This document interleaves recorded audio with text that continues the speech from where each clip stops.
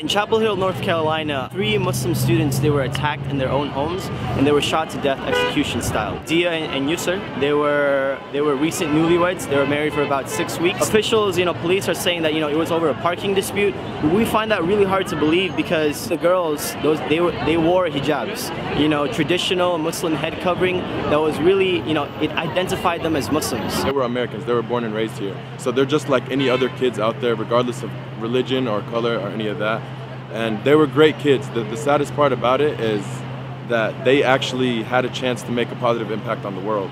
And they were doing a lot of good in order to make that happen. They were trying to raise funds for Syrian refugees in Turkey. They were set to travel in Turkey during the summer to provide dental relief. They were dentist students, they were college students, they were trying to you know make a living. They were trying to, to follow their dreams. They were helping people. It was just told that their wedding pictures just came in, you know, this week. They didn't even see their wedding pictures yet. If anything, I wish I had known these people.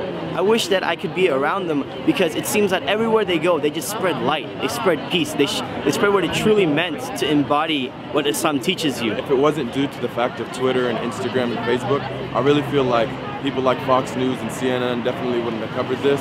And that, to me, and to everybody, it should just be very, like, disgusting. Just because they're of a different faith doesn't mean that they're not human. Islamophobia is something that is so inherent in our society that you know you can't you can't downplay that at all. You can't downplay the factors and the effects that it has. And it's something that we live with. It's something that my family, my mother, my sisters, that they that they're afraid. You know, they're saying like, "Hey, can you walk me to my car? Because I don't I don't know what, what's gonna happen." Instead of three Muslims being killed by an American, if it was a Muslim killing three Americans, that it wouldn't have just been covered in America, but it would have been covered literally worldwide. They wouldn't blame only the man, they would blame the whole entire religion of Islam. If people were to open up and see what Islam is really about, the true definition of Islam, don't let one person portray a whole thing.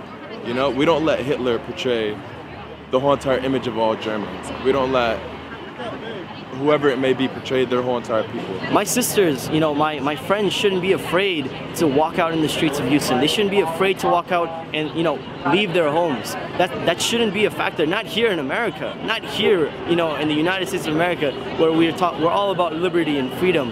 They shouldn't be afraid here of all places. Honestly, I find this very beautiful, you know? The portrait that was that was um, John, they want to send that to the family directly. Everybody in the whole everybody that was here got to sign it. It's unfortunate that an event like this has to happen in order for the community to get together and do something so special. It's definitely unfortunate, but it's better for it to happen to not to happen at all. I feel like a lot of us felt like this directly hit us. We see our families and everything overseas being um, just living in an inhumane way, and we never really get to feel the experience. So whenever it hit home, it's because these kids are a lot like us, you know? They're a lot like me, they're a lot like you, they're a lot like anybody, any students at any university.